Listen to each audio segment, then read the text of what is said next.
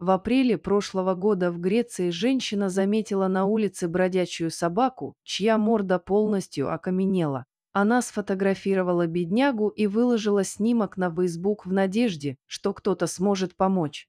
Тяжело больная пятилетняя дворняжка была в ужасе и даже не подозревала, что в этот день ее жизнь изменится навсегда. Петра, камень с греческого, очевидно, никогда раньше не общалась с людьми, а потому боялась их до дрожи.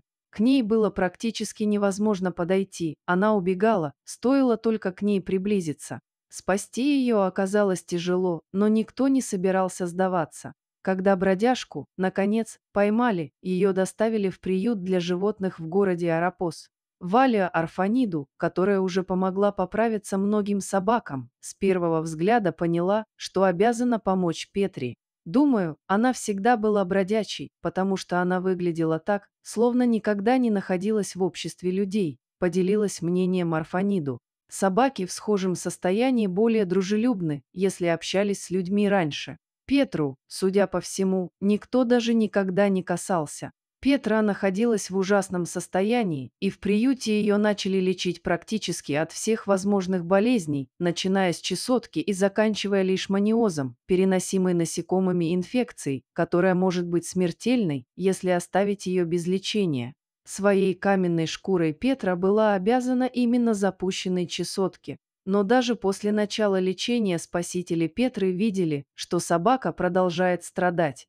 «Проблема в том, что она все еще никому не доверяет», — сказала Арфаниду. «Она не хочет выходить из клетки, она прячется каждый раз, когда к ней кто-то приближается и рычит на других собак в приюте. Когда Арфаниду впервые попыталась приблизиться к Петре, собака пришла в такой ужас, что обмочилась прямо в клетке. Но Арфаниду не собиралась ставить на ней крест. В следующий раз нам понадобился целый час, чтобы отвести ее на пару метров от клетки, рассказала Арфаниду. Она делала пару шагов и останавливалась. Я легонько тянула ее за поводок, и она делала еще шаг.